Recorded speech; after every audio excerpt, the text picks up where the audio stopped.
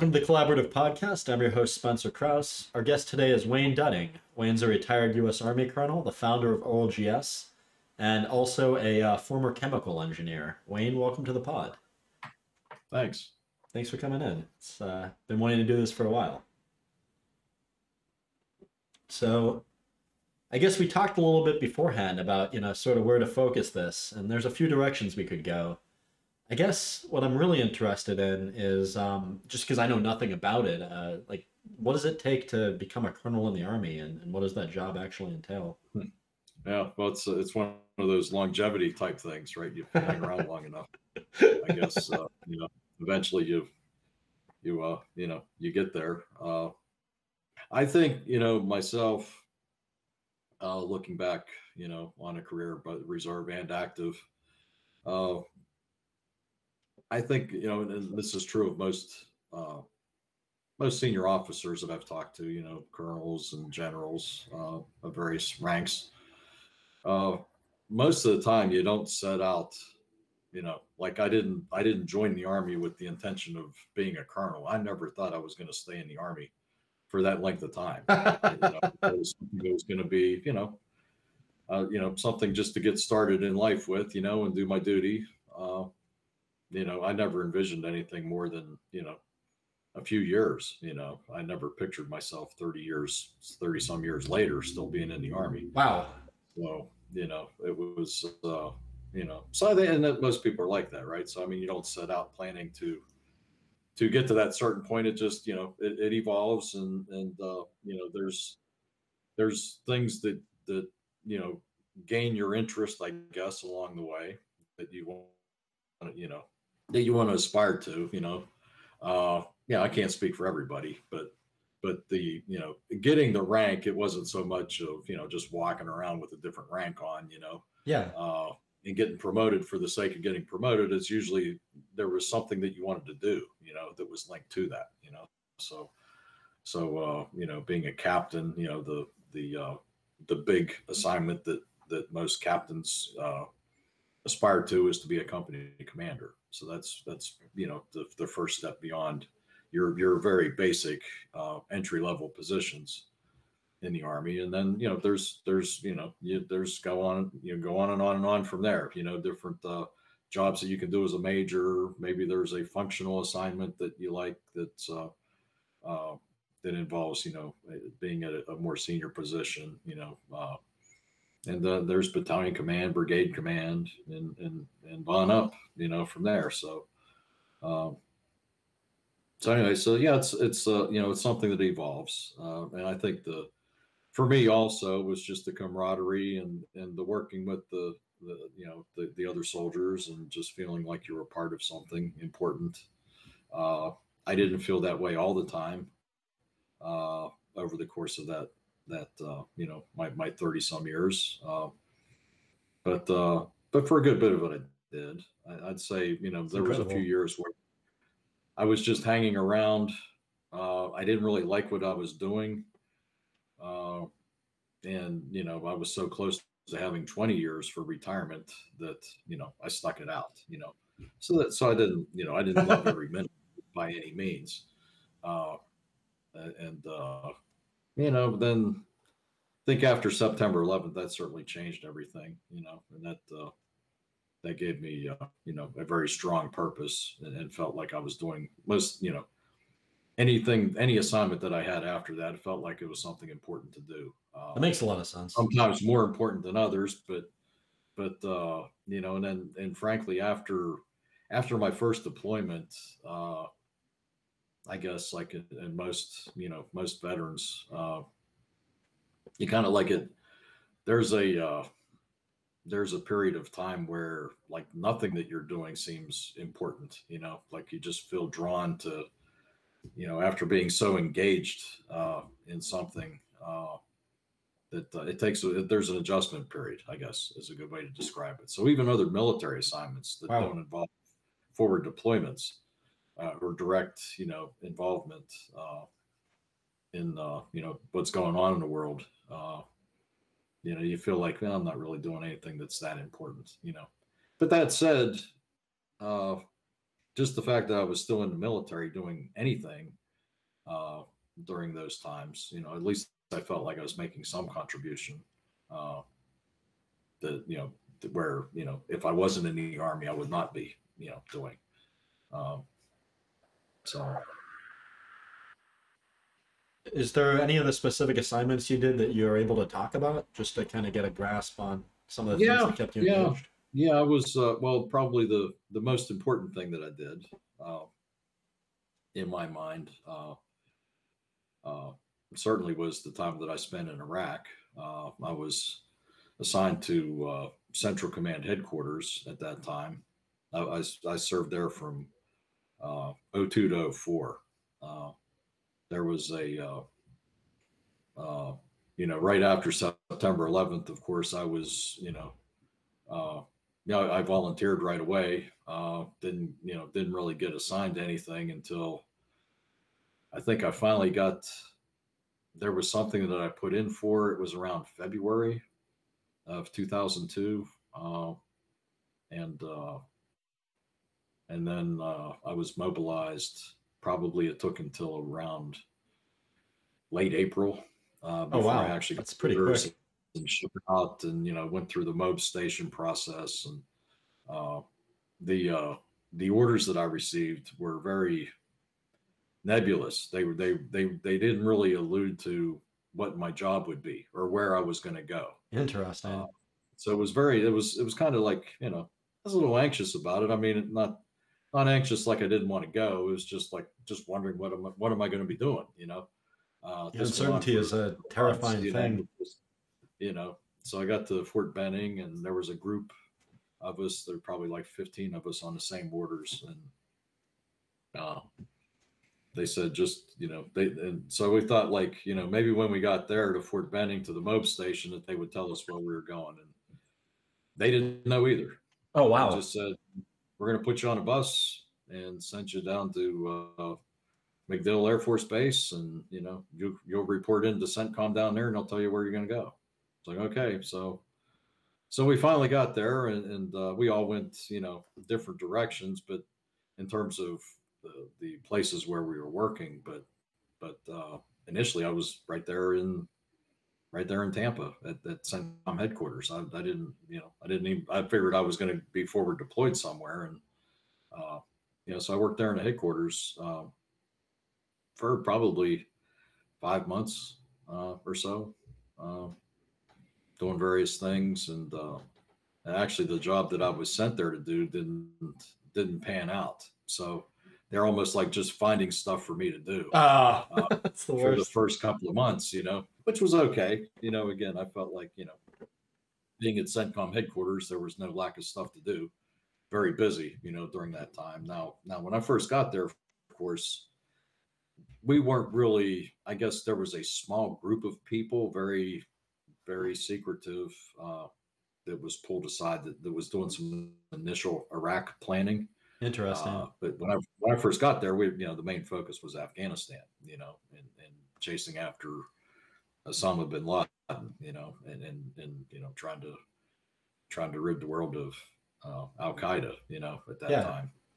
Uh, so uh, no, but then things you know things started to heat up with Iraq, and then it became more obvious that you know we were you know, we were doing some serious planning in that regard, and, and there was stuff in the media as well, you know, uh, at that point, and uh, so there was a uh, there was a planning cell that was being stood up, and uh, they were uh, one of the projects that they were working on was uh, the oil infrastructure uh, in Iraq. Interesting. And uh, I said, well, since I'm a chemical engineer, you know, I'll I'll gravitate towards that. And, That makes sense. so that was you know so anyway that was uh, you know again that so so that you know that turned into you know over a year later you know uh, that uh, that was my primary job uh, was to be an oil analyst and and provide you know technical support uh, given my background uh, and then we you know we we uh, took all the planning forward to Qatar, and I was part of the forward deployed headquarters for Central Command in. Uh, and then was for, sent further forward on a special mission uh, which I can't say too much about, but it was, uh, you know, it involved uh, uh, cutting off a supply of oil that was going to Syria that was illegal under the Oil for Food program, and all the proceeds of that oil were going to, uh, you know, various nefarious activities within Iraq, the the Saddam Fedayeen and others. Um, so that was an important mission, you know, and that was, uh, you know, certainly the highlight of my military career. Wow. Uh, was to be you know, sent out, you know, to a very forward location and, and working with the uh, special operations forces uh, that were in the area. Uh, and uh, so it was a, you know, very fulfilling, rewarding job. I, you know, I, I, did what I was supposed to do and then some, you know, so it was one of those awesome. things where I kind of exceeded people's expectations of what, you know, what the mission was. very, and and with with very little guidance. You know, they were just nice. Uh, you know, hoping that I would get in there and, and figure out what to do. You know, can kind of think on my feet type thing. So, uh, anyway, it all worked out, and and uh, thankfully nobody got hurt. Uh, wow, along the way. Uh, you know, so so we didn't have any casualties or anything. Uh, myself included was lucky. came back alive. Uh, you know, but uh, and so did everybody else. You know, that was involved in it, and uh, you know, so so uh, yeah. So anyway, I, I uh, one of those things know, I wish I could know more about, but I'm not going to ask. I want to respect that. Yeah, it's you know, it's it's uh, you know, I I you know, I usually I try not to say you know, I say very little about it. Uh, there's maybe more I could say, but uh, rather than uh, take any chances, you know. No, I understand. Uh, I mean, something I shouldn't say. I just usually I just kind of you know uh, don't say too much, you know, yeah. about it. But is there anyway, any... it was sort of the highlight of my career, and it was one of those things where uh, I think it was it was such a unique opportunity because I was uh, the person with my capabilities. Uh, not that they were that special, uh, but it just happened to be that that's exactly what they needed was somebody with my background um, in chemical engineering. Uh, I was like a perfect fit, you know, not just the chemical engineer, but you know, I had lots of military experience and I'd had commands. I was an infantry officer. Uh, so I was going forward to an infantry organization. Um, cool. so I knew my way around and knew, you know, uh, knew how to speak the language and, and, relate to the people that were there and, and, uh, and also my, uh, I guess my, my business skills as well. You know, I, I was a fairly, at that time, I got my MBA from Carnegie Mellon in 97. So nice. 2002 wasn't that. that. far away from, you know, awesome. from that. uh, you know, so I think a lot of that uh, training uh, helped a lot too, because I had to brief a lot of very senior people and, uh, and I got a lot of positive feedback on those presentations that I gave. And I think it was because I was, I knew, I knew how to talk to the senior people and tell them what was important, you know, uh, the, that's the the term elevator pitch wasn't yeah. so common back then. You know, uh, now everybody knows what an elevator pitch is, right? Of course. But, but that, that notion of being able to boil down, you know, a subject to what's really important because you know most of these senior officers are very busy people. You know, they don't have time for to listen to somebody go on and on and on about something. How much time did you have to convey that kind of information? Typically 10, 15 minutes. It's not a lot of less. time. Uh, you know, there were presentations I gave that were, you know, more like 20, 25. You always allow for questions, of course, you know. So, Smart. so if you have a half an hour, you really need to talk for no more than than 20, you know, yeah, that's what I would think. People to ask questions, right? Uh, and they can ask questions whenever they want to. It's their prerogative. So, you know, they can they can interrupt you, which is a habit I had whenever I was a brigade commander. Uh, you know, I would just I would chime in and and uh, you know talk to the people as they were going through their slides, and so their presentations ended up taking you know longer than what they thought, but within the time frame because I would ask them questions like every two minutes. I'd i do that too. but uh, but but so anyway, so you never know how it's going to go, or you get up there and somebody says, "Hey, look, I only got ten minutes, so just give it to me," right? So even though you're prepared for twenty, you now you got ten, you know. Uh, but uh, but it's but you never have an hour. Put it that way. Yeah, you makes sense. So so uh, you know, and, and and so the slides that you prepare have to be impactful. They have to, you know, everyone has to have a lot of meaning to it. Uh, and uh, and and you know, so anyway, so those you know those skills came in in handy as well. Uh, like I said, uh, just in dealing with a lot of the senior officers. Do you practice a presentation like that typically? And, and like, how do you do that, I guess, just to kind of get a little bit in, in your head on that? Uh, I tend to use, uh, uh, you know, I, I, I do some visualization. I think is the way that that it works best for me. Like a memory palace or? I always give a great presentation. So I've, you know, as somebody who might see this and say like, geez, I heard him present something that sucked, you know, uh, that's possible, you know, but, but whenever I'm, whenever I'm really comfortable with the subject and, and I, you know, uh, and I believe what I'm, you know, what I'm talking about and, and I'm very, you know, feel confident in the material I'm presenting, uh, that uh, it usually goes pretty well. Um, but, but I, I don't, I guess a lot of people they they tend to uh, like they tend to speak to the like almost like they're talking to themselves, you know, and rehearse a presentation. Some will even film it, right, and then watch themselves and, and you know beforehand. Uh, I tend to I tend to just visualize myself doing it well, you know. You don't So, even like, you don't even run through it.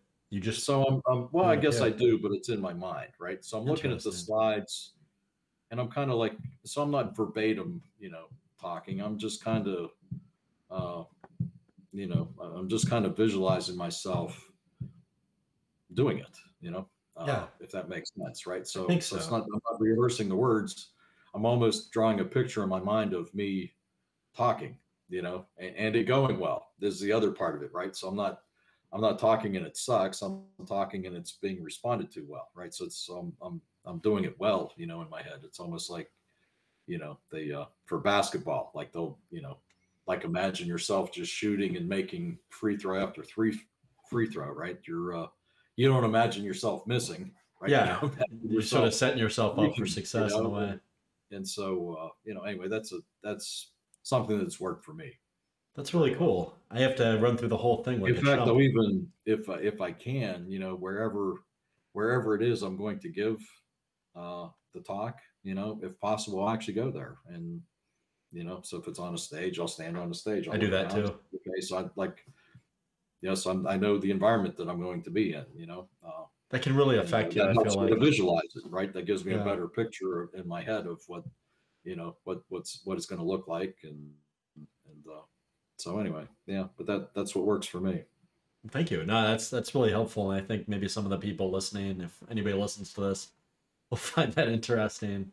I say that kind of self-deprecating. I mean, I, I think some people like this podcast, but it's technical. I mean, we kind of just jump in the weeds and go pretty deep, and so it's not for everybody. Uh, but I think the kind of people that have stuck it this far, you know, are going to find that interesting just to get, you know, maybe a tactic they can put in their tool belt. So it's kind of a Mhm. fun one. Yeah. So thanks. But anyway, that so so going back to you know the I guess the original question, uh, you know that was that was certainly the highlight you know of my career, and it, it was something where I felt like everything I had done in my life up to that point was seemed like it was in preparation for that moment.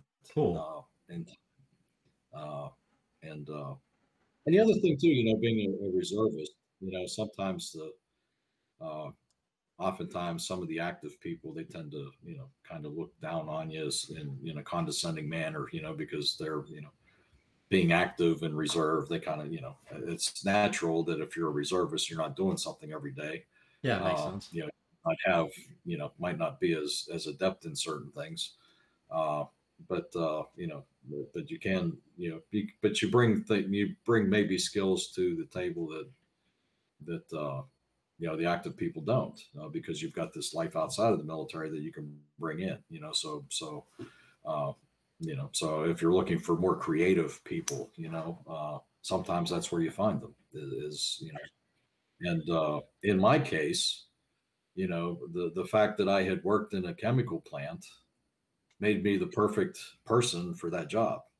Uh there are no people in the army that work in chemical plants right? There, the army doesn't have any chemical plants. So it was one of those things where, you know, my civilian skill set, uh, in addition to my military training, you know, had a lot to do with, you know, what what what my job was. You know, It makes a lot of sense. I don't think they could have found a better Uh, person in the yeah. enlisted So so I was able to really make a you know active. uniquely make a big contribution to to that effort, that part of the effort. Uh, that had I had I been a you know had I spent a career in the army, I as as opposed to that that uh, I wouldn't have been able to do that job. You know. So, Yeah.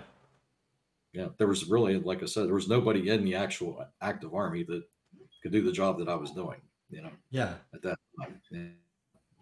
Well, I mean, I, I don't know what that's like from a military perspective, but from a civilian perspective, I know the jobs I'm called on where I feel like I'm valued because my past experience makes me better at the job. I mean, that's more fulfilling. You, you feel really good being able to come in. Mhm. Yeah. You know, Yeah. maybe you only have to spend 10 minutes on something that would take someone else six hours because you already know it. And, you know, that, I mean, you feel worthwhile, you know? Yeah, yeah. Well, you know, the, the you know the, the case in point with with you know what I was just describing. So that you know there was really nobody, you know, whether no matter how senior they they were, you know, or whoever they were, there was really nobody that that uh, you know really understood what I was what I was doing, you know, or or, or you know could understand with the with the level of fidelity uh, the issues that I was able to explain to them, you know uh, and and you know, and I think that you know the one senior officer told me that. So it wasn't you know, when I gave these presentations, I wasn't trying to to you know show people how smart I was. Uh, I was trying to educate them, you know, Yeah. and, and and explain it to them in terms that were very simple so they could understand it quickly. Uh, and that was where you know, as I was saying before, with my MBA you know background, I think that was that was something that helped me a lot in order to do that. You know Yeah, that's Uh, awesome.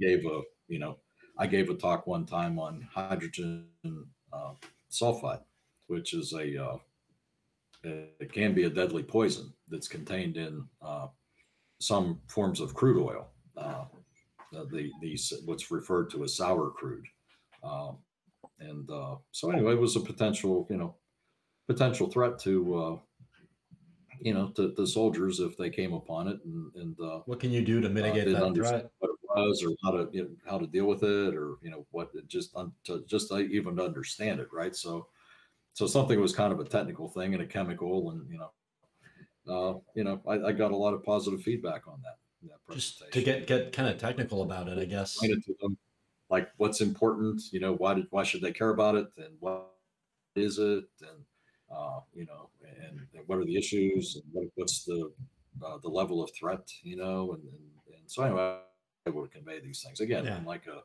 a 10 15 minute type you know presentation to a very, very senior people that were kind of nervous about it you know because they didn't know anything about it. I'm kind of curious myself. just poison you know there's a, like potentially like a poison gas that's out there you know? Sure. uh, and you know, you know, so What are the things? Some of the things you can do if there is a hydrogen sulfide leak and you're you're in an area, you know, just to kind of. well, so so it's it's a uh, it's a it's a question of concentration, uh, and and the uh, so there's various detectors that that uh, they made available actually to to to some of the soldiers to uh, you know almost like a car- carbon monoxide type monitor, right? That Cool. you know if you're uh, and uh, you know it has an odor to it, so you know you can you know oftentimes you can detect it just by by smelling it. You know there's something is uh, you know not right in the area, and uh, and the other thing is just to avoid uh, low places because it's heavier Oh. than hydrogen sulfide is, is heavier than air, right? Yeah, so you makes don't want sense. to just crawl into a you know crawl into a, a space that's uh you know or even just like jump into a hole or, or something right if, if you 'Cause if you could be in a pocket. in an area where it's a threat right then you don't want to just you know put yourself in a situation where you might you know enter a you know enter a, an enclosed you know or or uh you know a uh like a ditch or something like that Yeah. right that's it could the hydrogen sulfide could uh you know rest in so uh, anyway just just things like that you know. No, it actually really helps illustrate the the big point. thing was it wasn't that much of a threat, you know. So so there was some common sense stuff to do, but it wasn't something that was, uh, uh, uh, you know, that was that big of a threat, you know, or that big of a concern. Uh, it wasn't like, like this poison gas, you know, that was going to just float over the whole country and and kill everybody, you know, and and then and which was, you know, maybe the picture that some people had in their minds of, of what this was, you know, when they when they Interesting. saw first heard of it, right? So so it was a uh, but that said, it's it's it's deadly poison. Uh, I actually had uh, I worked for Koppers Industries uh, back in the uh, I guess the early '90s, and uh, we had a I worked in the plant in West Virginia, but uh, we had a sister plant in Chicago, and uh, we had a young a young guy actually died from uh, hydrogen sulfide poison. Sorry to hear that. Uh, climbed into a tank, you know, and and it wasn't cleared, wasn't uh, wasn't uh, tagged out properly, and wasn't prepped, you know, before he entered. And, and but I mean, he was just, you know, the guys that were there said, I mean, he just flopped over and he was dead instantly, you know, just you know from that, just poisoned him, you know. So it's it was nothing to mess around with, you know, or to take lightly either, you know, because it, you know, That makes sense. it could, you know, it has to be a, a pretty high level of concentration for it to be deadly. I can't remember the exact numbers now, but Nah, it's all good. I wasn't trying to put you on the spot. or it's not cause you to something that's going to spread over a whole country, you know. Yeah. And, yeah. Uh, so it's uh, you know, it has to be fairly concentrated before it's really, you know, a threat. That makes sense. So you'd, you'd see it in a chemical Unless you're plant or in a process. A, you know, so if, unless you're actually at an oil facility, Yeah. um, you don't really have to worry about it too much. And then, and it depends on what type of facility. Uh, so, you know, there was a, uh, there was an area that I was, uh, working with some people and, uh, you know, they, they asked me about that because I guess they'd heard, they, they'd heard the message. Uh, and, uh, but I was able to tell them like, it's really no risk in your area because it's all you're dealing with all refined oil. Uh, so there's a process called stabilization where you take uh, sour crude oil and, and remove all the hydrogen sulfide from it. Nice. And, uh, uh, and and so you know, so any refined oil, of course, is being shipped all over the world. You know, is not saturated with hydrogen sulfide. That's all been removed. Yeah, makes a lot of sense. so, you know, so if you're dealing with, you know, areas where there's refined products, then you don't have to worry about H2S, you know. Nice. It's, it's, it's already been removed.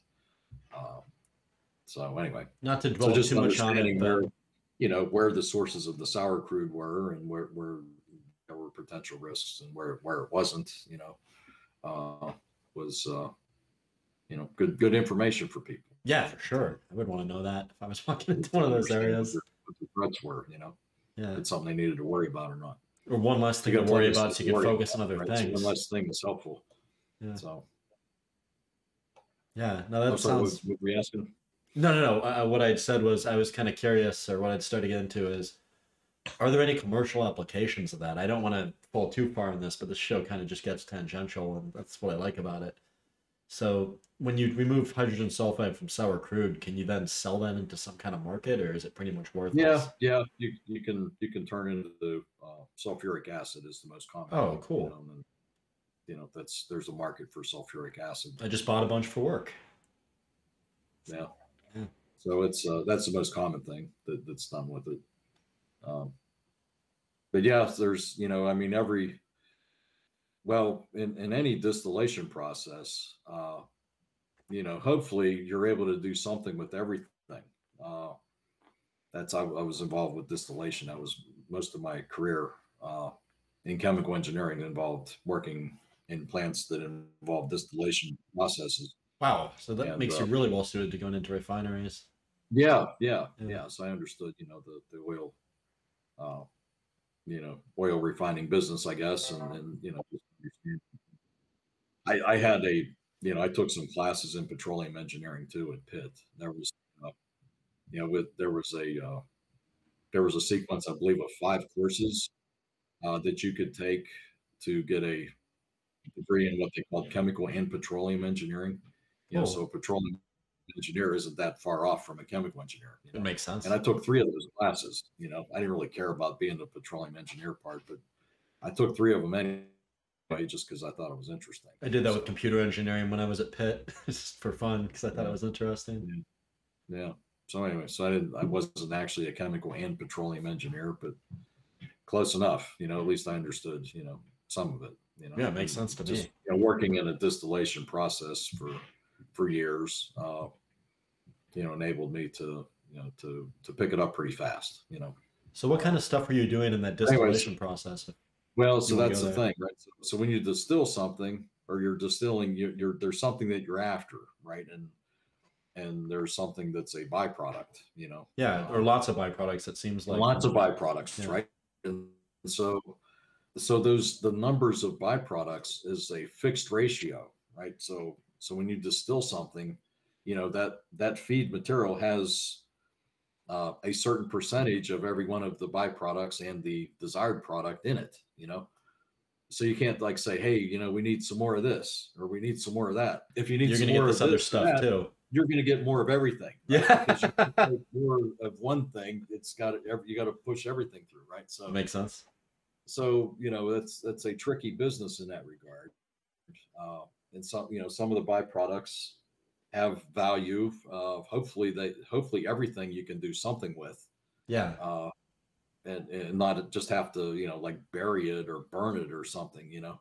Uh, yeah, you would hope. I mean, you know so so it's it's but it's tricky right so ever all these markets are all balanced you know if you have uh gosh the you know when i worked for Koppers uh for instance you know there was uh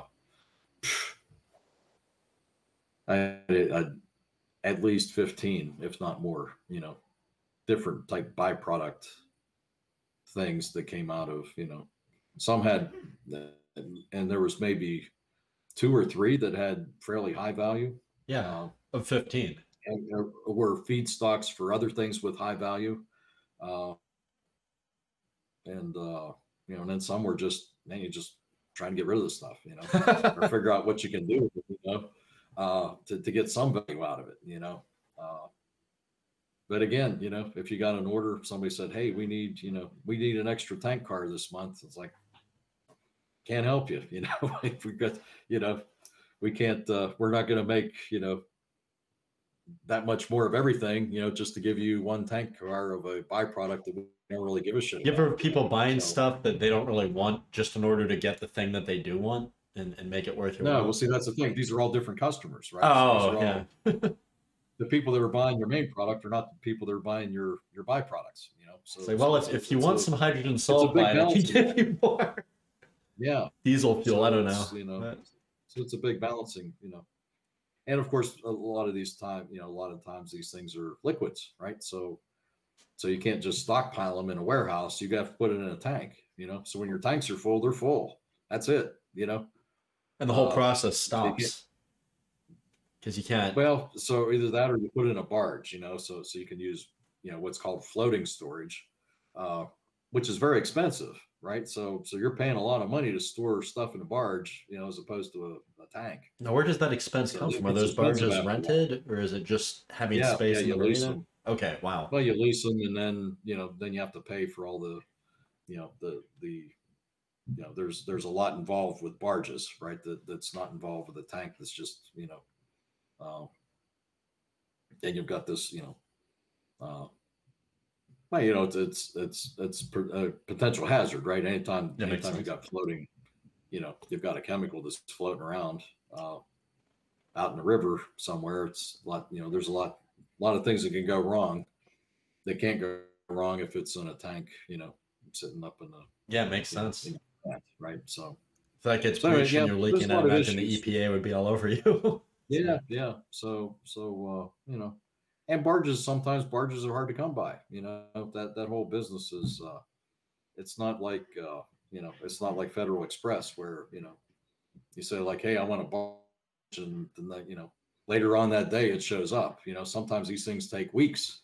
You know, yeah, that makes sense. to get lined up and get the barges where you need them to be, and and so yeah, it's a you know it can be tricky sometimes. You know Yeah, but I guess so. So you know, so that said, right? If there's, uh, you know, if there's some worthless byproduct and you've got nowhere to put it and there's no barges available, and you have to cut back on everything, you know, because just for lack of a place to dump some byproduct, you know? You know, you can't just spill it out on the ground, right? Yeah, so makes sense. Or dump it in the river, you know. uh, uh, so you know, yeah. So it's a, you know, it's interesting, I guess. Yeah, no, it's really interesting. I never really thought about that aspect of it. So that's yeah. just from yeah. a logistics perspective, I feel like there's a lot to figure right. out. And, yeah. And maybe even if you're making exactly. a loss on something that's you don't want, at least you're disposing of it and you're freeing up space. Exactly. Right. So even if you're paying somebody to take something off your hands, you yeah. know, that's better than shutting down your whole plant. You know. I was moving in a CNC machine the other day, and one of the riggers was telling me a story about having I think it was 200 gallons of coolant inside some big machine they moved, and they couldn't get rid of it. Like people wanted thousands of dollars to take this stuff off their hands because it's corrosive and you know not so good for you. And um, it was all used up, so it wasn't really of use to any machine shops. And um, you know, finally they found somebody willing to take it. You know, they, apparently they just didn't ask any questions. they just got rid of it the second you know they found anybody that wanted it. So. Yeah. It's interesting. Yeah. Think about that every yeah. day. But anyway, so that's uh, you know, that's a uh, for the chemical industry, you know, for for you know certain products, of course, that's a uh, that can be a tricky business. Uh, is when with distillation in particular, you know, uh, is trying to balance, trying to balance out all your products, you know. Yeah, I can I can only imagine. I mean, I've some family that are executives in chemical enterprises, and it's given me like a little more insight into some of the stuff they must have to deal with, you know, just the challenges there. Yeah. Yeah. Now other, you know, other other other types of chemical processes, you know, you, you may you may not have the the issue of byproducts so much, you know, but, things like where you're distilling crude oil or coal tar, you know, there's there's uh there's lots of components in it, you know, tens of thousands of different you know organic molecules of wow. various types, you know that and they all got to go somewhere you know you find so, it used for tens of thousands of things? Well i mean that so so like say gasoline right yeah. has you know thousands of compounds are in gasoline right so they all get lumped together into the gasoline you know uh, and, and so on and so forth you know uh, road tar and and uh, you know the the lighter the lighter gases of course are you know are, are fairly separate. Uh, like you know, ethane, butane, okay. propane, yeah. right? Those are those are maybe a little bit of the others on each side of. There's markets for those at least. Uh, yeah, yeah. That's well, you know. That said, uh, you know this this uh, ethane cracker that's being built up in Monaca, PA. By, I don't know about this by Shell. Uh, you know, ethane is really doesn't have a market. That's a good case in point, right? So when you you're you're you know the Marcellus region, right? You're you're you're taking advantage of all the natural gas in the area, and and uh, you know um, there's stuff that you can do with with all the byproducts, you know, that come out of the ground that's part of natural gas, except for ethane. Uh, there's not really a good use for ethane, uh, and so uh, and that's what that cracker's there for is to convert that ethane into into polyethylene. Oh, cool! Which there's a huge market for. And now there's a, there's lots of stuff you can do with polyethylene, right? Yeah, so, it's in everything. Yeah. So so and there's all different types of polyethylenes, and, and uh, yeah. So so anyway, so that's that's a way of taking something that's, you know, a a a useless byproduct the way it is, and it's now potentially a valuable feedstock for yeah, you know, make polyethylene. Um, yeah. And in fact, seeing that, right, that's that's what's going to drive uh, you know, the the plastics industry in the United States because that ethane, I mean, you know, of course, whoever's whoever's producing uh, those the the various gases, uh, they're not going to give them away for free. But that yeah. said, there it's it's essentially ethane is just an un, it's an unwanted byproduct essentially what you're really after is the methane, right? That's what's going into your house is the methane. Yeah, makes sense. For natural and the propane, of course, there's a big market for propane and butane. Yep. Uh, to, to be used as is.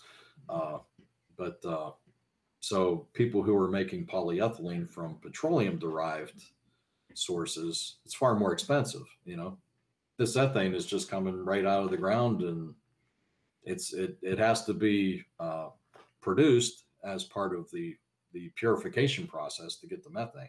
Yeah, makes So- sense. So uh, so there it is, right? You've got all this ethane. These people got all this ethane on their hands. And it's one of those Uh, things that's just taking up space, and you know, there's now could there be a Yeah. use for it? Because I mean, I'm not a chemist, but it just by its nature, the name sounds like it's something that's probably highly flammable and combustible. Um, Well, yeah, I mean that's what basically that's what you do, right? Is if you if you can't figure out what else to do with it, you have to flare it. that makes sense. Uh, You know, but but for the quantities that they're producing, there's you know you couldn't really put it in some kind of engine, or like there's there's nothing that could burn it Yeah, yeah, that's that's the thing, right? There's nothing that runs on ethane, uh, and it's uh, you know the, the the world is set up to to you know like the natural gas, what you call natural gas, right? You're kind of set up to run on methane. You're not really set up for something that burns that hot, That makes know? sense. burn hotter, right? Because it's got it, it's got an extra carbon. You know, it's a bigger molecule, so it's going to burn a little hotter. So it's not really you know you'd have to re you know so you can't just say like hey let's just give these people ethane instead of methane they'll never know the difference No, know the- you know so when fittings start blowing out, or you know, yeah. so you know so furnace. it's just one of those things right? So so there's things of course designed to run on propane and, and there's things that are designed to run on butane.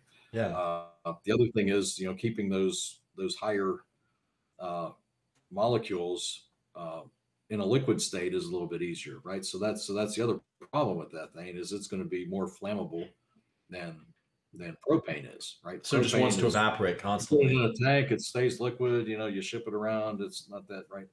Ethane's a little more difficult to handle in that in that regard, right? So Yeah, that makes sense. not that it's impossible. I guess you know you could come up with new systems and new ways that just to combust ethane and use it as a fuel. Uh, but again, you have to re-engineer the whole world to run on ethane. So it's just not really worth it. It makes more sense to turn it into polyethylene. So yeah, and, and of course there's a big market for polyethylene. Yeah, absolutely. I agree. We just uh, you know, but anyway, this country, we, you know, we don't I buy it. we won't get the polyethylene from the United States. We get it from other people. So it's uh, you know, there's a big revolution that can occur. You know, with with uh, with with these processes once they get underway.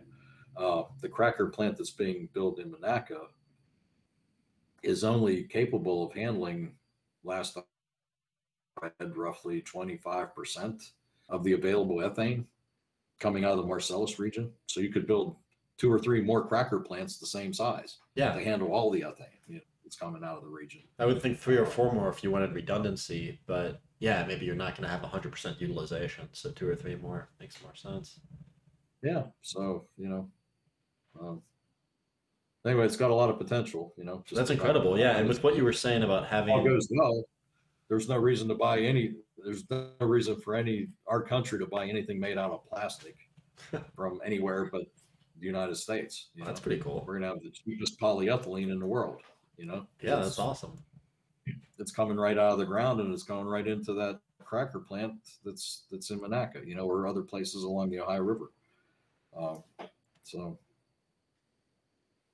Yeah. interesting. We'll see what happens with that, but it's potentially revolutionary. Or I don't I don't have any inside information about the cracker plant. I don't know when they're going to get underway or you know what their schedule is. Uh, They they don't make that, information public, and I don't you know so I don't know.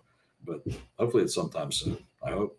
I mean, I, I recently had a foray into American manufacturing with my new job at FormLogic. I don't know if I ever talked to you about that, but I um, now they're director of advanced projects, and uh, a lot of what we do is you know bringing manufacturing right back here to America, and uh, making parts mainly for the aerospace industry.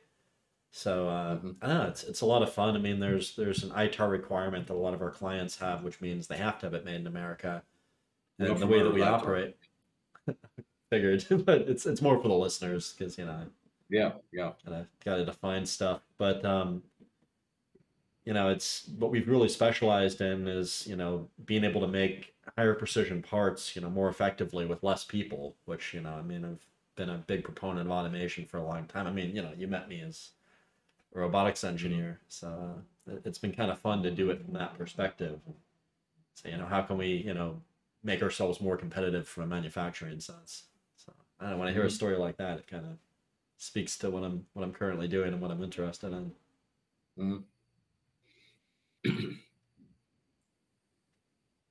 So yeah, so um, I guess do you want to talk at all about uh, OLGS, or do you do you want to stay away from that for the most part? Oh no, it's you know, I mean, you know, I can, uh, you know, that's my current project. So we're, I have a partner. We've been working at this for, uh, for quite a while now. Uh, I've been the main, I've been the main person involved with it. Uh, the other two people that are part of it, are they, they have full time jobs doing things other than this. You know, so I'm the only one who's at this full time.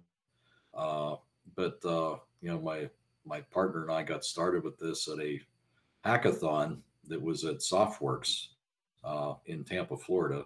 Uh, it's an organization that supports SOCOM, Cool. trying to bring in uh, newer technologies, cutting, try to keep them on the cutting edge.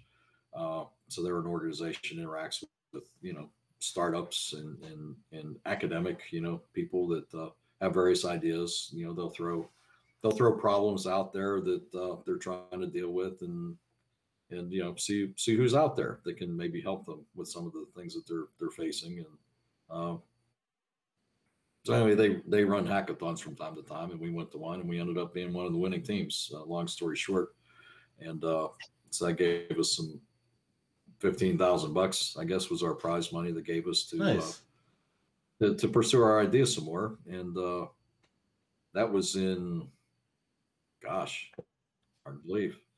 That was in December of 2017. Wow. So it was a little over four years ago now. Uh, and, uh, you know, I've been, I've been at it, you know, either full or semi full time uh, since then. cool. And uh, we formed the company, I guess, the OLGS company. We formed it in March of 2018. Uh, went through a couple of accelerator programs. I guess the biggest thing that happened was we got awarded a, uh, we got a phase one uh, STTR contract Nice, with congrats. the Air Force uh, to, to work on this, and uh, and we made it to phase two. So I've been Awesome. That's even better. I've been working on the phase two contract for uh, you know a little over a year now, but big big setback because of COVID. You know, was, was Yeah, supposed to- a supposed to and everything. in uh, you know this kind of like a 15 month timeline. Supposedly, you know that I was going to start in say probably would have started in like April of 2020. Ended up didn't start until really November of 2020, uh, and then uh, you know during 2021 I had uh, some supply chain stuff that just Oh, everybody did. I was waiting for two motors for three months. You know, I, I got calls from buddies at NASA asking for stuff. else. Yeah. So Do you know where I can find you this chip?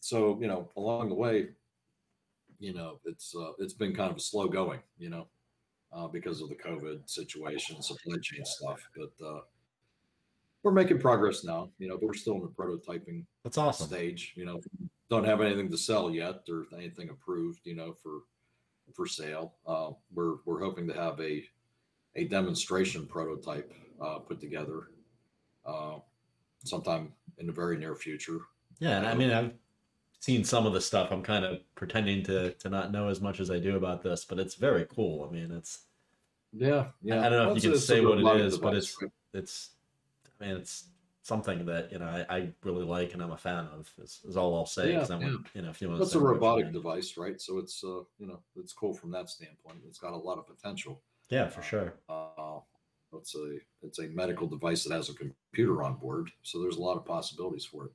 Yeah. uh, down the road. Um, even you know, thinking of autonomous and auto, automated and autonomous type medical systems. Uh, you know, this is a what I tell people is this is a necessary first step. Uh, uh, uh, you know, to develop what I'm developing. You know, if you want to have an autonomous system eventually, uh, you have to do what I'm doing first. You know, and get what I'm doing to work, and then, you know, uh, take it take it to the next level. You know, with some you know machine learning. You know, the different techniques like that. You know, uh, I think it's a pretty good. I've had I've had uh, people that that have a lot of expertise uh, in programming give me different types of feedback, but in my mind, it's a it's a somewhat I wouldn't say it's an easy problem, but it's a somewhat straightforward problem uh, because it's uh, uh, the the data that you that it's it's you're able to structure the data very well. You know, it's like you've got all this data from all over the place. You know, since you're dealing with the human body, there's certain characteristics that you can measure, and most of those things are captured, you know, in a systematic way uh, in uh, different trauma uh, databases. You know, the databases involving trauma. Yeah. Uh, I know the University of Pittsburgh, in particular, has gone to great lengths to structure their data. they've been Uh, working on that stuff so- for a very long time. Yeah. So so it's a and it's a supervised learning type situation too. You know, so it's you know you know what parameters are important and you know you're, you're able to tell a system this is right this is wrong you know very clearly you know and a so it's not a nebulous situation you know Cool. Uh, so anyway i think it's something that's you know now again this is this is way down the road from what i'm working on now but it's something that's certainly possible Yeah, I'd be interested to kind of track that as it goes on. I, I wish we could give a more concrete example of, of what it is, but again, I don't want to push it. You know, I'm just just interested. Well, like people. so it's a, it's an automated tourniquet right Okay, so it's cool. a it's a way of uh you know for for extremity trauma uh you know it's it's a uh, it's a life-saving device uh Yeah. the the problem there's there's maybe you know there's three different there's three big value propositions with what i'm doing um so the first one is that uh most lay people don't you know there might be people you know again if anybody's listened this far uh Thank you. uh, people may may or may not even know what a tourniquet is you know So it's, no it's something you tighten down on an extremity wound to keep a person from bleeding out. Yeah. So understanding. you know yeah so some people may be familiar with that or not or if they if they know what the word tourniquet means they may not know how to put it on somebody you know so so if you think of like an aed right so automatic external defibrillator for Yeah. Thank you know, you. somebody has sudden cardiac arrest right there you see these signs around for aeds uh, they're most of the ones that are in public venues like that uh, are somewhat intuitive you know so you don't really have to know what to do uh, Well, it'll tell you in a voice, right? There's a recording. heart attack and you're the only one around you know you can open up that box and it'll pretty much guide you along the path that you need to follow to to you know help the person right Yeah. some of them even talk to you you open a box and it starts telling you what to do uh, or there's very simple instructions you know that, that you know and, and and so anyway so so you can imagine something like that the the equivalent of that for extremity trauma uh, would Yeah. be something that would be valuable. So Especially, I mean, when you're in that situation and nobody knows how to tighten a tourniquet. I mean, you know, that's a- right. Well and that's the thing right? So, so getting the pressure right is the trickiest part you know? If you if you really kind of you have a vague understanding of what it is you have to do uh, the thing that takes training and practice is getting the pressure right. Uh, so if you have a device that gets the pressure right for you then you know that's you know that makes it more effective. So that's the one uh, you know the, the one direction we're looking at and, and by the way so so i'm looking at creating versions that are for each operating environment, not like one thing that's going to make everybody happy. Very you know? cool. So there would be one that's designed for that that environment, you know, or designed for lay people to use, you know, Yeah. don't really understand tourniquets and makes it easy for them, right?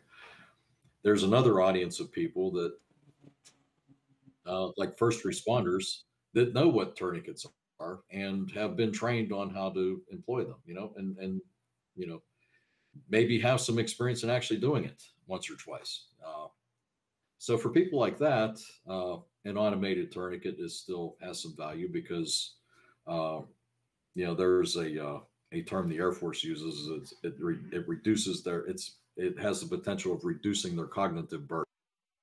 Right. So somebody who's in a you know in a in a in a situation where they've got a lot going on all at once, uh, maybe they've got ten people to take care of. You know, a tourniquet, you know, the, the the rule of thumb with a tourniquet is like it takes about two minutes to put a tourniquet on somebody. Yeah.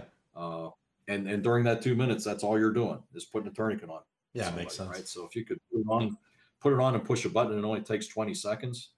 You know, that's in, in a crisis situation, that's a yeah, that's a huge amount of time. I mean, to you know, you could yeah. be giving somebody so, CPR or going to the next person or doing any number of things. Yeah, and and oh by the way, you know, since it's got a computer on board, you know, it can record the time of activation, it can record the location. Nice. Also, you know, it can hook to like your, you know, if you're wearing a Garmin or some other device that you could put on the casualty, you know, it can it can monitor your blood, you know, your your heartbeat and, and whatever else you want to monitor, your SpO2 and all the stuff that anything you can get, right? Any sensor that you could put on a person, it can collect and then transmit that data. Yeah, uh, that's incredible. So uh, so it's uh, you know, so it's got a lot of potential, you know, in that regard too. Uh, and then I guess the you know the last situation is we're we're actually working on uh, with the Air Force uh, for a version that would go into the ejector seat of a combat aircraft in oh, case oh, cool. the pilot would have to eject. Uh, that they would have this type of a system with them, uh, and the uh, the benefit there is that uh, it, it helps with self application. So if you have to put a tourniquet on yourself, yeah, it's a very difficult thing to do. Looks good in the movies, but, you know, doing it, doing it for real, you know. Uh, so uh, you know, Magnum PI. I watched an episode not too long ago where he he put a tourniquet on himself, you know, and was still running through the woods and. Yeah, I would imagine yeah, that's that, not really feasible. That looks good on TV, right? But it's you know, in real life, you know, just putting the thing on is is you know the pain involved is is makes it a very difficult thing to do. So there's not to mention there you're down in extremity. I mean, because you've cut off all circulation. I mean, if you weren't already, so to run. Yeah, the point, what they say is the point of what they call exsanguination is very painful, very high. You know, very very very painful to do. You know, and uh, so you know, and of course you've got you've got you know an open wound, right? So you know, it's painful enough, right? And now you're yeah. you're making it worse, right? So you know, there, the, potentially you could even, I mean, you could even go, go into shock, you know, from yeah, from makes a lot of sense. And if you go into shock and there's you, nothing there to keep tight, go into hemorrhagic shock before you got the thing on, you know. Yeah. Uh, so, so anyway, the you know, so so a device that makes it easier to put one on yourself. That's awesome.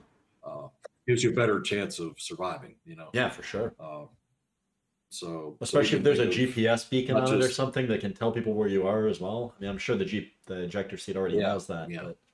Yeah, no, that that gets a little tricky with the military, but yeah. but yeah, in the civilian world, yeah, you know, uh, something that's uh, I mean, you know, so in the military, there's you know, so there's more proprietary ways of doing that. I guess that makes sense, that way, right? Or some ways that you don't want to necessarily give off your signal uh, to everybody and your brother if you're in enemy territory and shot down. Right? That makes a lot of um, sense. So you got, I mean, it, you know, there's ways of doing it maybe, but you know, it's it's not the it's not the obvious one. You know, you want yeah. the thing to just squawk. You know, now if you if we've got a private sector equivalent of that, you know, so like you're on a construction site or you're on an oil an offshore oil rig or you're wherever minimum crew yeah. in some re- re- remote location or even if just a hiker, right? You're out camping by yourself, you know, and you've got this thing. Right that would be huge. You know, if if you if you, if you tripped that signal. thing or you needed it, yeah. right, you would want it broadcasting to the whole world, right? The like here I am, and this is the time my tourniquet tripped, and you know this is my location, and right. So yeah. Uh, so, so those are the three big ones, I guess. That, yeah, it makes a lot so, of sense. So there's others. There's other ones that are you know. Uh, problems and maybe good applications, but uh, but those are the three big ones. Yeah, you got to narrow your focus to to conquer an objective. So I think that's wise. Yeah. So the first one is the big one. You know, we're we're you know, tourniquets should be you know, uh, extremity trauma or trauma in particular. You know, of all forms, extremity trauma is a probably the most common uh, type of trauma that occurs. Uh, is uh, you know it's a big problem you know domestically uh, as well as you know in the military the military's done a pretty good job of, of dealing with it uh, for for our current type of operations you know the, the most recent i guess operations uh, but they're looking at a battlefield uh, a future battlefield, you know, where uh, we could have a lot of casualties real fast, you know, the makes lethality of the systems, you know. So you can imagine, you know, a, a big conflict like, you know, US and China or US and Russia. You That'd know, be terrifying. Thousands and the, the lethality of the systems we used, if we really unleashed them at one another, you know, the, the number of casualties we would have would just overwhelm our medical capability Yeah, it makes a lot of sense. number, you know. So, you know, if, if that's the type of battle that we're preparing for, which we are, uh, then uh, uh, you know we need to have some some automated and autonomous systems that can come to the aid of people, you know, to replace, uh, you know, to, or to to augment the the people that we have because there's just not enough not enough medical people to go around, you know. Yeah, it makes a lot of sense. Uh, you may be, you know, a person may be unattended for days uh, before somebody can get to them uh, or her, you know, and, and uh, uh, you know, so they've either they've got to be able to take care of themselves or they have to have a device that, that's able to augment them somehow. And whether it's through, you know, when I say augment, augment the people, you know, or augment your capabilities, and there's also the augmented reality, which is a way of enhancing these things. You know, So- Interesting.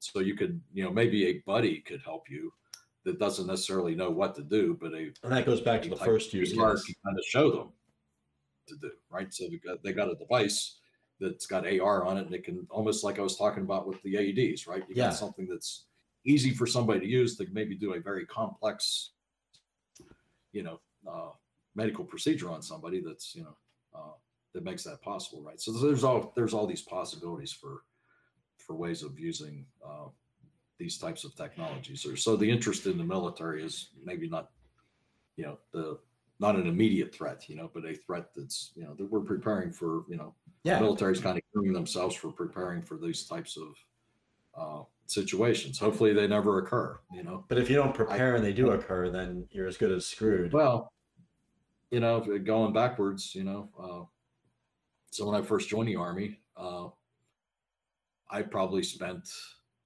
let's see, gosh, you know, I, I guess the uh, the Berlin Wall came down in what ninety one.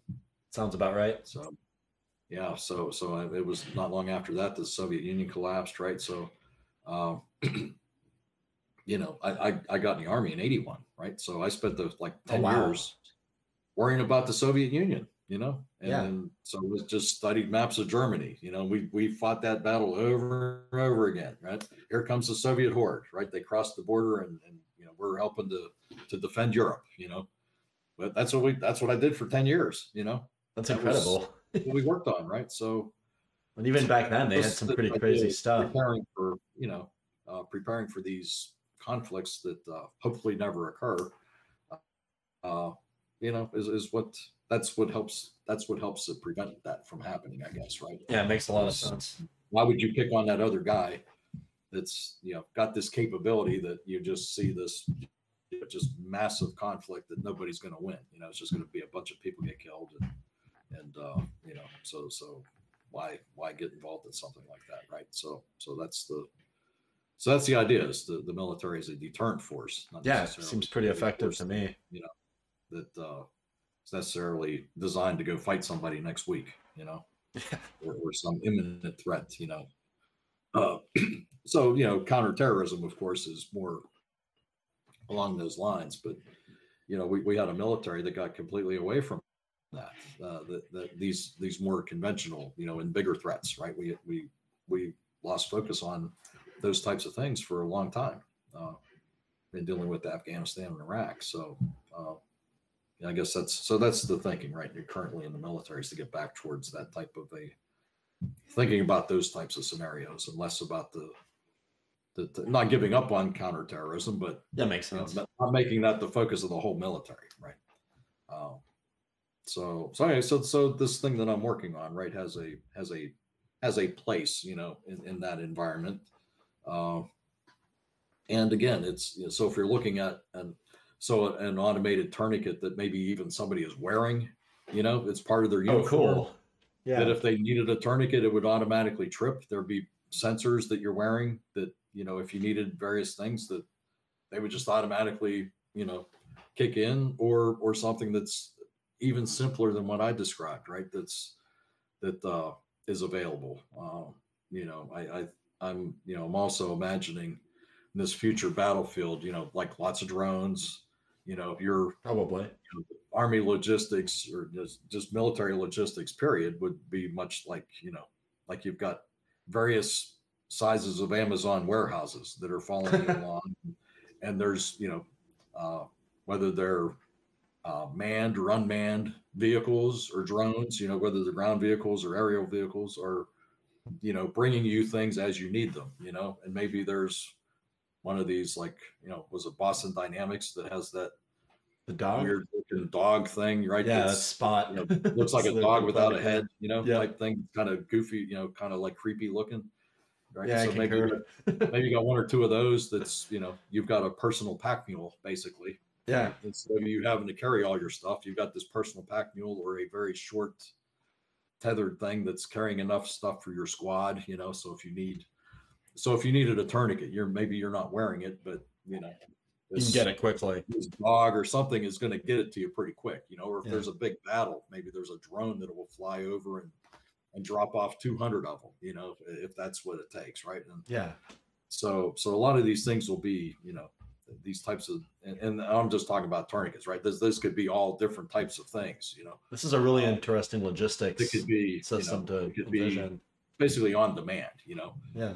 uh, and uh, uh, so that would be certainly more responsive than any type of a human, you know, type mobile hospital that that would be able to triage and, and take in all these thousands. Well, not only that, but I would think your existing mobile hospital structure could be better supported with supplies. I mean, if you can get stuff out there that quickly and be more effective. Well, it's, it's the it's the human part, right? So Yeah. so you, you don't have it. So if all these people that are casualties require a doctor, there's just not enough doctors to take care of all these people. But if you have a thing that can talk Yeah. them through how it works and, and help Well, again, so, so the automated, right? The more you can Yeah. automate things and, and and take care of things or make it possible for buddy aid, you know, Yeah. Um, that, that that's what that's well, that's what you're gonna have to do, you know, because it just the math doesn't work. You cannot Yeah, have a sense. doctor for everybody that's, you know, if you have twenty thousand casualties in in two hours, you don't have twenty thousand doctors to take No, of not. casualties right now, you know, so there's got to be, you know, you, you got to do something different, right? So, uh, so anyway, so that's the, you know, so that's where I guess, you know, my device fits into the bigger picture of, That's really cool.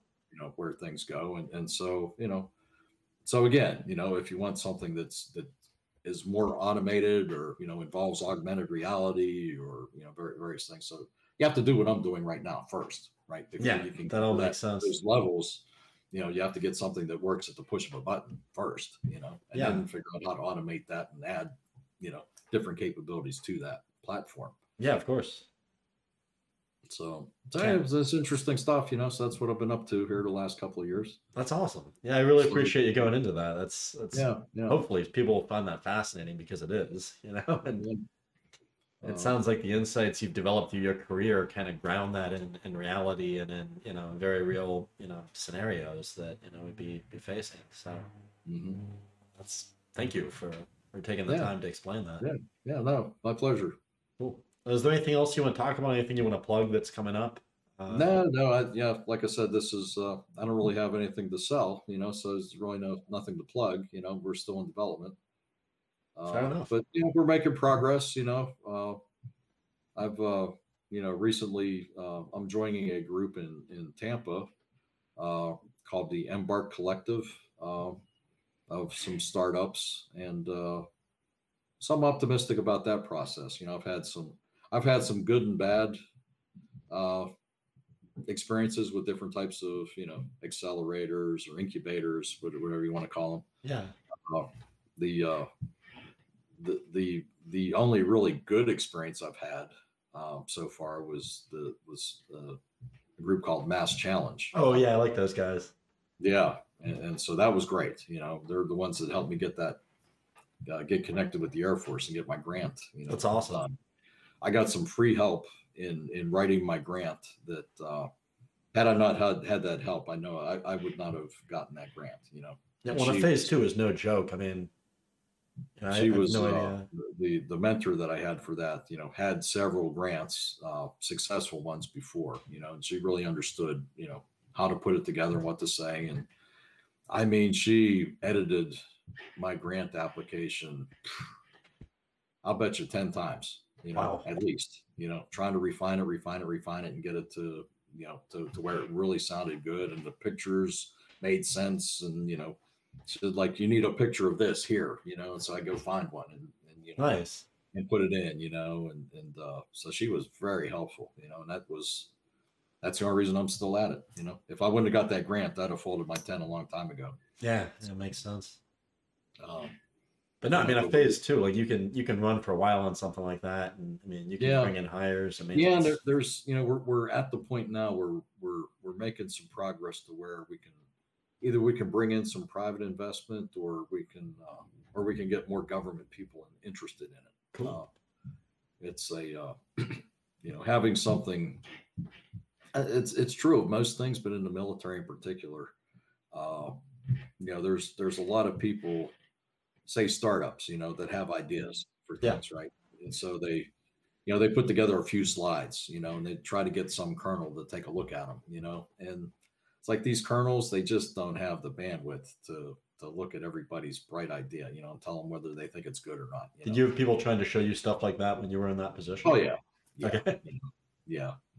Uh, you know there and uh, so anyway, there was uh, you know so so having something tangible, right? So a physical prototype that you can show somebody Yeah. that demonstrates what you're doing. You know that makes a big difference. in- Yeah, it makes a lot of sense to me. Particular, and I think you know in the private sector too. But I maybe a buddy so- who's a venture capitalist who would show me when we'd have a few drinks the the really ridiculous ideas people would pitch to him. yeah, Which it kind of, I mean, it kind of upset me a little bit because you realize that like you know somebody poured their passion into this, and this guy's now you know making it into a joke. But it was also kind of funny. So some of them were just well, kind of so that's cliche. a, you know the, these these venture capital people, which I I'm trying to I, I kind of shy away from. You know. that makes uh, sense. but uh you know there it's a situation where it's like you know it, it's like you know when you're a startup it's like you have you have a used car you know that you put together and uh uh that's these ven- these vcs that's what they they look at used cars all day you know yeah. Like you- you've got and you don't know right i mean you only know what your car's like you don't know what the market is you don't know anything about anybody else the other cars they saw that day or that These week or that month or the ones that kind of look like yours. and they're looking for certain things that's in the pitch deck you know um, and I've started even, I mean, I'll admit this, I've started to get a little bit jaded having done, I mean, well, you know what I do. Like, I mean, I've, I've probably helped like over 100 startups at this point with different ideas from an engineering perspective.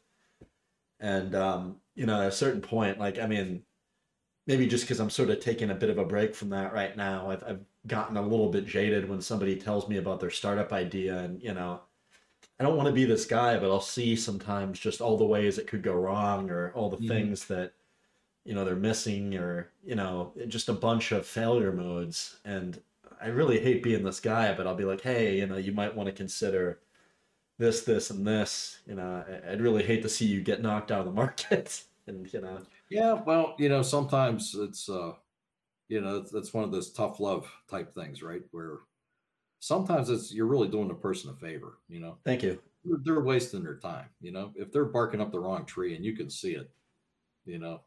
Or or maybe even Well, a lot of it's I've seen somebody do it exactly like they're trying to, Yeah. you know, and I've seen how it went wrong, and you know, yeah, or, or like you even if you can, even if you don't know for sure, but you give them some more things to think about, you know, before they get serious about something. And people do seem grateful when you say that stuff to them. I'm always highly apologetic. I'm just like, hey, look, I, I don't mean to be doom and gloom over here. But it's just, you might want to consider these different attack vectors on your idea. And I'm sorry, I'm not trying to be mean, you know. And they're like, no, no, no, that's yeah. incredibly valuable. Thank you. Like, this is awesome. This is really helpful.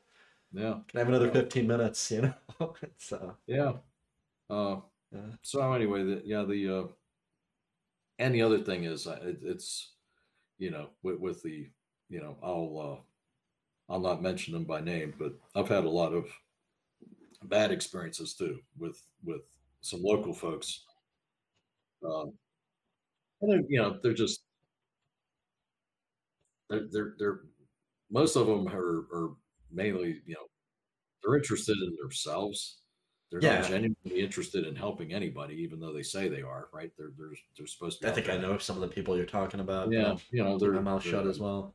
Yeah, but uh, you know, I, I don't think their intentions are in the right place, and and uh, you know, when when you look at how much things cost for for something, uh, it's just not worth it. You know, it's like you're Yeah. giving up too much, and you're not getting enough in return. I, I had a guy come to me one time when I was earlier in my career, and he offered to mentor me, but he just wasn't really giving any real value in terms of advice. Like it was all kind of stuff you could find on a on a menu or something. You know, it, was, it wasn't really. Yeah. And but the guy That's the wanted other the guy wanted three thousand dollars a month. He's like, give me give me a check for three thousand dollars a month, and I'll keep mentor. I'm like, I don't need your mentorship, sir. You know, I appreciate it, but uh, you know, I think I'm good. I'm gonna walk on this one. Well, you're not getting three thousand bucks a month worth, right? Yeah. So, it. uh, Plus, I didn't have that kind of money. I was, I was broke, you know, Well, recent college so- grad. So that's so you know when you give up equity, right, or, or like a convertible note or things like that, you know. Uh, Wouldn't have been worth doing that with this guy. Yeah. you know it's not worth it uh, and, and you know what you get in return for what you gave up it just doesn't make any sense you know when, when you when you really look at it you know i've got i've gotten some help from people i don't, don't get me wrong you know there's been some people some local folks that have given me some some value you know Good. but not a lot you know certainly not not worth paying for uh you know in, in a lot of cases they're being they're being paid to help people, you know, so it's not like they're doing you some big favor, you know. No, it's their job. they're taking either federal or state money to to help you, you know. That's what they're that's what they're giving the money for. So uh anyway, so so it's a uh, I mean, that lady sounds awesome at Mass Challenge that you were talking about. yeah, yeah. Yeah. Uh Stacy Swider's her name, actually. Stacy She Swider. helped She's part of uh uh I she has a new role now. Uh I'm sure she still helps with Mass Challenge, but uh she was at UMass Lowell and now I think she's doing something else with some type of a venture fund. Oh, cool. I feel like a lot of those really good people get get snatched up into the bigger stuff. Yeah, but anyway, she's been she was super helpful and it cost me nothing, you know. that's awesome. She said um basically she got a grant. She said, you know, uh, she got a grant to help people like me. Yeah. But she said, like, don't feel bad. I'm getting paid. Like, I'm getting paid. right? So, you know, it's all good. That's know? awesome. Uh, and, uh, uh, you know, but the, the, the, the ones that have, you know, it's- in retrospect, you could almost see it. You know, you can almost see the writing on the wall. So, uh, you know, the, uh, mass challenge cost you nothing. Very That's hard to get into. You know, it's not like they get, I think they only accept like 8% of the applicants. How much? What percent? Eight. Eight. Okay. Yeah, it is challenging. It's it's so it's not easy. They don't take just Sounds like a massive you know? challenge to get the fact that accepted. You're, you know, just the fact that you can say we were a mass challenge company is something, you know. And when you're mass challenge, you're mass challenge for life, you know. So I can still go back Oh, cool. there and, and tap into their mentor network or you know call the staff for help, and uh, uh, and it's all free, you know. It's so they're a nonprofit they get money from you know all types of organizations because they want to be involved in the startup community in- Makes in sense. Boston. You know, um, which is the other thing. They're not all just people in Boston. They come from like me. You know, we, they come from all over the country, That's cool. uh, and uh, and all different types of projects. It's really interesting. You know, But it was a, it was a great it was a great experience. I was in 2019 that I did that. Went through Very cool. Program.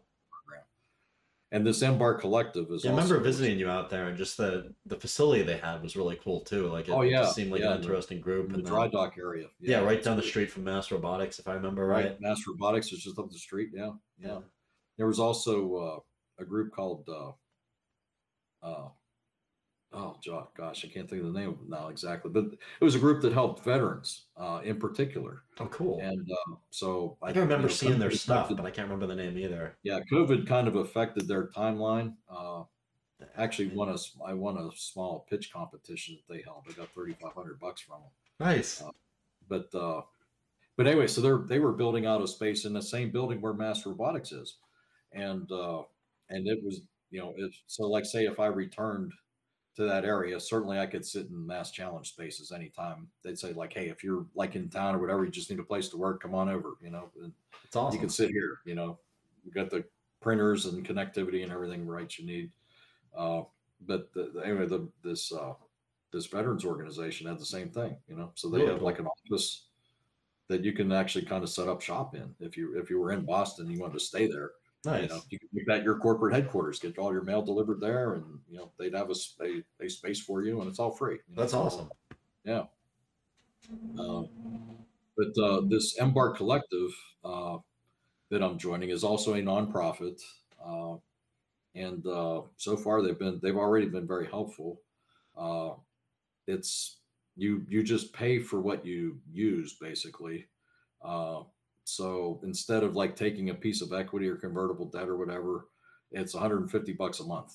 Oh, cool. Just to have, just to have a seat in the building. Yeah, And, it sounds similar to mass robotics. and then you get all of the well then you get all the the mentor support too you know so so even better than mass robotics you're getting all the mentorship all the stuff that comes with that you know for 150 bucks a month and you can quit anytime right so it's not like you know like you know you Gotta have a six month lease. you think like hey this isn't working for me or you know i'm not getting any help anymore or something for whatever reason you don't like it you just quit you know like you just Yeah, I don't see why not. just stop paying, you know, and so you're out, you know. So there's really no strings attached. Whereas convertible debt and these different arrangements where you got to give up equity and things. I'm sure they can get messy too, just with the nitty gritty detail. Like I haven't had to deal with those types of contracts a lot, but I'm sure if you don't write that ironclad the way you want to, Well, it, it was right. I mean, people, well, people that sign these agreements. So I went through, you know, I went through and redlined an agreement and had a lot of problems with it, you know. And they told me like, hey, you know, take the thing and mark it up if you have any questions, right? Well, then when I marked it up, they're like, well, you know, they didn't want to change it. You're like, well, geez, you know, we got lawyers and we got to pay a lawyer every time we going to change. It's like, you know, what did you mean by mark it up? Like, that's, that's You know, this, is, this is a bunch of crap. You know, yeah, I'm not getting, you know, uh, but but people that are kind of naive and they just think, oh, you know, I'll just, you know, I'll, I'll just sign it, right? You know, this- yeah. this Or, or, or like I'll just say it, that they can edit it, but I don't really mean it, you know. And know, and you that- that annoys me. that, you know, you don't get along with the people, and and uh, you know they're they're taking advantage of you, and you know, six months later you realize that you made a really bad choice, and guess what? You already gave up your equity. So I had a um, company tough. ask me when I was early on in my consulting career, you know, doing engineering consulting work, asked me to sign an IP assignment agreement, which would have given them right to anything I invent uh, as a consultant, which makes no sense at all. I've got plenty of clients that you know I owe them the rights to the thing I help them invent, you know, and that's that's the whole business. Is like you pay me, I give you intellectual property that's yours forever. that's right. But if I had to sign this IP assignment agreement, it's like you and this other guy. It's like no, I can't sign that. I can't afford to sign that. yeah, yeah, That's that's completely ludicrous. But uh, But the guy looked at me like I had I two heads when I told him that. the thing that I've learned is, you know, is, is uh, you know, these these nonprofits like Mass Challenge and this Embark Collective that, that I did some due diligence with. It looks like a great, you know, great organization. Um, you know, they're, uh, you know, if they're nonprofits and they're not taking your equity, uh, you know, they're probably you could, you're you're probably on the right track. You know, Yeah. uh, you know these people that want you know the, the, that you know trying to extract parts of your company from you you know up front you know i just so even with one of those, they might negotiate on the back end, but that's once they've formed a relationship. yeah you know- see that and that's where you know that's where you know i finally got to the point well this this uh you know a long story that you know i, I, I don't want to just sound like i'm whining right i'm just but you know maybe just if there's again if somebody's still listening and they're interested in startups and maybe looking at these these accelerators that are out there just you know they're not worth it, you know I know if you've seen Silicon Valley, but the line that comes to mind is I own ten percent. yeah It's a character that says that in the show. Yeah. It's so on the nose. yeah so you know these uh uh you know these these various organizations that just kind of you know i you know the thing is though most of the time they probably don't get their they probably don't get their money's worth right? So these startups end up failing and Yeah, for sure. you've got they're taking 8% of nothing you know? Yeah. uh and uh whereas the convertible debt it's like well that's debt right? I mean it's at some point you got to pay the piper right? So uh and, and the things that you're getting in exchange for that there's usually like this sucks you know So Yeah. if somebody says, "Oh, we're going to do this marketing study for you," you know, we'll point you in the right direction. We'll help you market your product, right? You get this marketing study; it's a piece of crap, you know. Some, you know, twenty-two-year-old kid right out of college wrote it. You know, they, they don't know anything. They don't know anything more about marketing than you do. You know. yeah, makes sense. Uh, yeah, I've heard that story before too. You know, with, with not not. For Yeah, there's a guy that wanted three grand a month from me for for that kind of advice at one point in my career. So you know, you, Didn't give you it to so him. These things that you say, like, "Oh, we'll we'll give you," you know, what we're giving you is worth, you know, way more than what we're taking. Like, "Mm, yeah, right. You know, King's So, ransom. You know, so you know this. uh you know, and the other thing that I've learned is, man, it's really easy to sit on the other side of the table. You know, it's uh, you know, somebody who sits there and critiques or tries to give you, you know, advice. Oh, it's way easier than doing it. I'll say that as somebody who's been in that the guy who's trying to do it. You know, Yeah. and so you know uh, i think most most of the really experienced entrepreneurs that i spoke with uh, mainly through mass challenge you know there's a very lot a lot of very successful people you know support that organization uh, that have you know been through startups once twice three times uh, and are really you know really know what they're talking about. They're they're usually very respectful of you too. You know like you said you know they're they're not trying to uh, you know they don't act like well you know like you know you don't know what you're doing and you know this is you know they're like hey you know and trying to trying to talk to you in a respectful manner you know? I mean, the last thing you want to do, because we've all been there, you know, where you have an idea. well, that's the thing right? so on the they, they they have this appreciation for how hard it is to do what you're doing right? Yeah. And so you know so that there's there's a maybe like a, a common bond right that, that they have with you you know?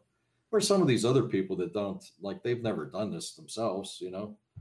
They just start you know uh you know like trying to point out uh well basically just to criticize you right? So not not necessarily constructive just you're they're being critical you know? Sometimes it's helpful and sometimes they haven't taken the time to understand what it is you're trying to Yeah. do Well, I think for some, that's a before they self offer these, inflation. You know, you know, like these these advice, you know, especially like me, you know, at this point, you know, not to sound arrogant, but you know, I've been doing this for four years, right? So, you know, somebody who's looked at this for 30 seconds and says something is probably not going to tell me something that I haven't already thought of, you know, like several times, right? Or have already kind of, you know, so rather than just jumping in and start criticizing, why don't you take a few, if you're really interested, you know, or you want to help me, you know, invest a little bit of time in understanding what it is I'm trying to do, you know, Yeah. uh, and, and where I've been and, and listen to my story first so that you can offer me something that might be, you know, might be worthwhile, you know, Makes sense to me.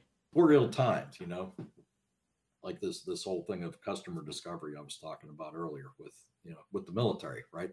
There's only so much of that that you can do without a functional prototype, you know, of some Yeah. type, you know, that you can show somebody, uh, and, and, get them to, uh, to take you seriously, you know? Makes Uh, sense to me. So, I mean, I've done, I've done like interviews of all types. I went through a, a different program before Mass Challenge that, that it's like the I-Corps program. If you're familiar with the I-Corps. I don't think I am. I've- heard of it. I don't know anything about That's a university program typically, uh, where they, uh, you know, they, they, they guide you down a path. It's like in preparation for getting a grant. Okay, cool. So kind of like say, like- CMU's Project Olympus. Yeah, well, exactly, right. So there, there's there's a uh, there's there's also an I-Corps program, you know, that's that's tied to, you know, the the the uh, some of the stuff that they do. Um, Cool.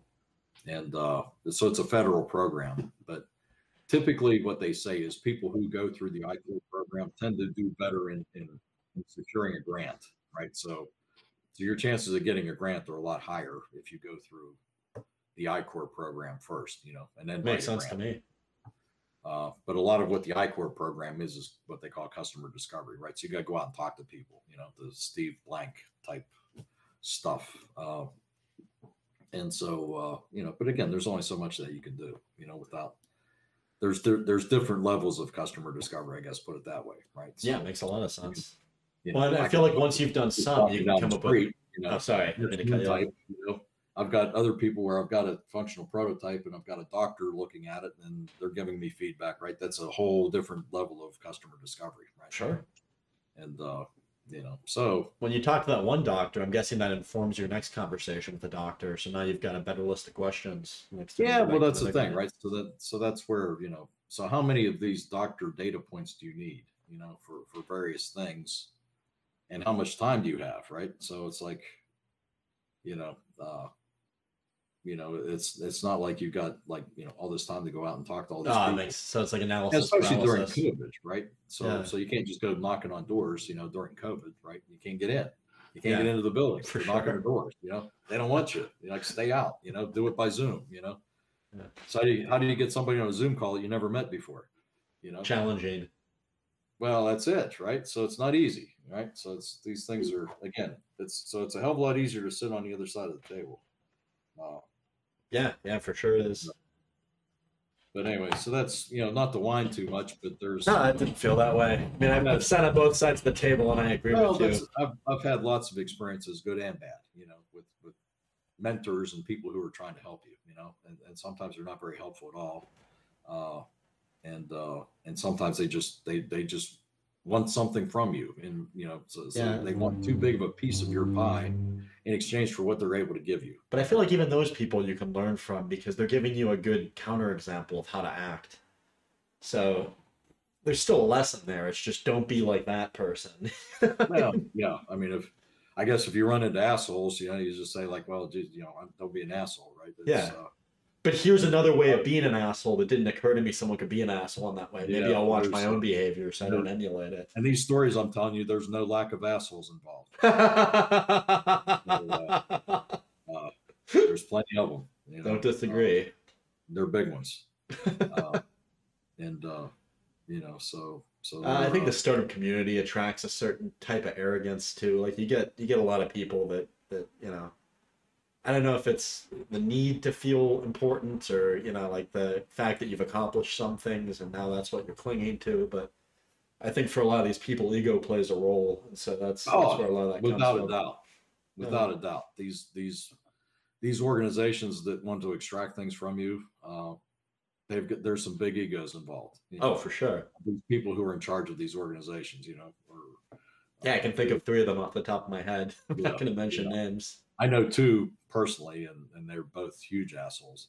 Yep. uh, that uh, that I had dealings with, you know, and, and that's been that's just not my opinion. That's the opinion of lots of other people too. You know? Yeah, yeah. In fact, Usually is. three. There's three uh, now. Now that I think about it, you know, We might be Um, thinking of some of the same people. I'm sure that we probably are. There might be one that's unique to me. That uh, that, that uh, that said, yeah. So these, uh, you know, this, this whole uh, and this whole thing in Pittsburgh about the startup community. And it's like, well, I mean, some of that is, uh, you know, when you when these these articles that you read about this, uh, you know, sometimes they're written by these same organizations, right? They're, uh, they're uh, I, I don't know that the the startup community here is is anything that's unique to, to other cities. I think the stuff that's going on is unique. You know, Yeah, yeah. robotics and some of the healthcare innovations. Uh, there's some there's there's a uh, you know so this uh, I know you're part of that uh, you know the uh, what's it called the Pittsburgh Robotics Network. Yeah, I'm affiliated with the Pittsburgh Robotics Network. yeah. So I mean, pe- people like that, right? That's, that's that's maybe something that not every city has. Yeah, but I Um, mean, Massachusetts has Mass Robotics, which is Well, awesome. that's it, right? So I mean, the Bay Area has Silicon Valley Robotics, which I'm not going to comment on, and we have Pittsburgh Robotics There's- Network. There's, uh, uh, you know, so so again, you know, there's I think there's people who think like the stuff that's going on here is unique. It's not so unique. There, it's going on all over, all over the place, and in fact, you know, and, everybody I think recognizes that Boston and San Francisco, you know, Silicon Valley, that's where the VCs are, right? The, if you need, if you're trying to go get money for something, you know, it's it's not here. I mean, Yeah. there's making some money here, but not the big money. The big money's and you got to go to Boston. Well, a lot of companies will get a seed round in Pittsburgh that I've worked with, and then they'll go to the Bay Area, and that's where they'll raise, you know, way more money and That's right, finance that's their right. idea. you know so so you can't say that like we compare well with boston We yeah, don't. one Boston's got a higher commercial robotics output. There's that Brookings study everybody quotes. You know, I mean, there's plenty Well, of uh, there's and, and seeing it. I mean, just the the stuff that they're doing at Mass Robotics is. I mean, I, I hate to say it, but more impressive than the stuff we're doing here. Um, Well, it is. you It know, is. You know, so, I mean, they have a Uh, dedicated workspace. Pittsburgh Robotics Network doesn't have that, you know. And so, right, right. There's, there's. I mean, and you could go on and on and on. There's the state of Massachusetts has. You know, Massachusetts is an expensive. I'm more place. impressed with the robotics scene in Massachusetts than I am in the Bay Area by by a long shot. If I'm being honest. Yeah, I, I, I can't speak to the Bay Area. I only know, you know, what I saw in Boston. Uh, but the the the state of Massachusetts, you know, uh, offers so much, you know, to attract business into the state. You know, it's a it's an expensive place to live, right? So it's it's not no necessarily. So if they don't do something. Like Boston would be the last place you go to. It's so expensive to live there. You know, Yeah, makes cost of living sense. Boston versus here, you know, it's like night and day. Uh, For sure, it is. uh, you know so so unless so they but they do i mean they, there's all these incentives all these programs all this funding and grants and different incentives that the state will give you you know um that's it's remarkable you know none of that's going on here you know I think I we're mean, trying, but I mean, we're know? definitely not caught up. no you know so i mean uh, you know to say things are all that great here i mean you know i'm from pittsburgh i like pittsburgh yeah, you know I love Pittsburgh. I mean, it's my Pittsburgh hometown. I was born in Magee Hospital. but, but it doesn't mean that you know that that's you know that, that we're exclusive. We have an exclusive, you know, uh, you know, deal on anything, you know, uh, and then frankly, again, you know, the the startup, the the accelerators, incubators, whatever you want to call them. Yeah, I, I've had no luck, you know, I, not much luck here, you know, yeah. if Well, I mean, and with these, and, I think they're you're not doing what you structured should way, do. you know these other ones are, you know Yeah, uh the you know the, so the you know, so mass challenge in particular you know that's a big one uh again it's a nonprofit it's supported by all these these organizations in boston you know a lot of big companies just because they want to they want to have a foothold on all these good ideas right so Yeah. there's like you know mass challenges you know again it's a it's a it's a very difficult program to get into you know they don't they they accept very few you know applicants you know they get like thousands and thousands of people apply and they only pick uh, uh, like a handful like 80 you know, yeah, yeah. makes thousands. sense. Eighty out of a thousand. you know and uh and so the these these so these companies that get picked you know uh these larger companies are very interested you know in in what they're doing and what's going on and so they're if also you could say, "Hey, I got some help from Bosch when I was little." You know, Yeah. maybe now that I'm getting bigger, I might talk to Bosch Ventures. You know, and so you know arrow I don't know if electronics Bosch has a Ventures branch, but I'm assuming they do. so, Yeah. Well, most companies do, or they, Yeah. they, they, they at least have their finger in it somehow, right? And yeah, uh, so Arrow Electronics was the big one that I got support from and still do. You know, this is what three years later. you know, yeah. I'm Well, and you've told me and showed me some of the stuff they've done with you, and they're- they seem like they're great. Yeah, You know, they don't charge me. There's no no cost. You know, I mean, the only thing they told me was like, hey, once you get once you get going, just you know, please buy your parts from Arrow. I'm like, okay, that's it. it's effective.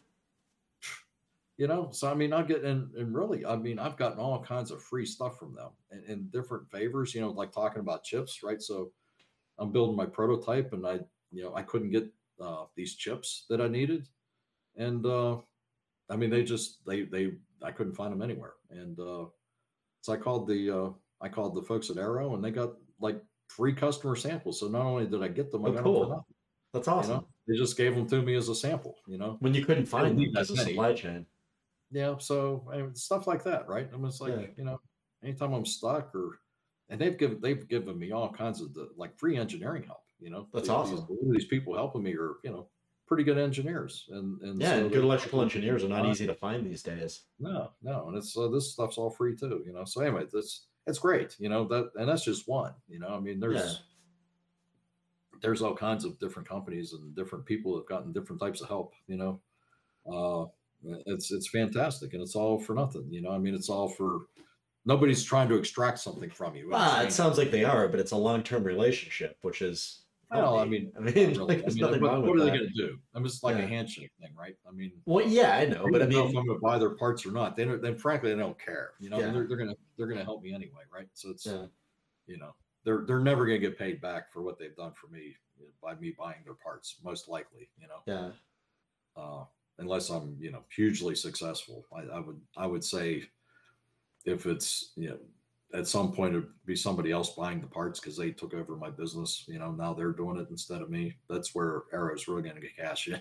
if, you know, yeah, uh, but I mean they they really don't expect anything. You know, I guess yeah. Well, that that's cool. they're not yeah. trying to extract something from me, right? They're just they're trying to help me be successful. You know, they they they take some credit in that. You know, they they want me to succeed. You know, Yeah. and, and they they feel like they've you know they're they're a part of something. So so there is this. uh you know, there there are some genuine people out there. you know. Yeah, no, I mean, I've And been helped out by people like that. find, you know uh, there's uh, uh, you know then you know the, this incubator i guess i don't know if you want to call it an incubator uh, it's a uh, but anyway they, they assist startups so so it's uh, jeff vinik who's you know a billionaire uh, that owns the tampa bay lightning and you know various Cool. other businesses started the whole water street development that's going on in tampa. So he's the one behind this thing right? And so you know he's he's not trying to make money you know off of this thing. He's and he his only interest is to see the tampa community grow.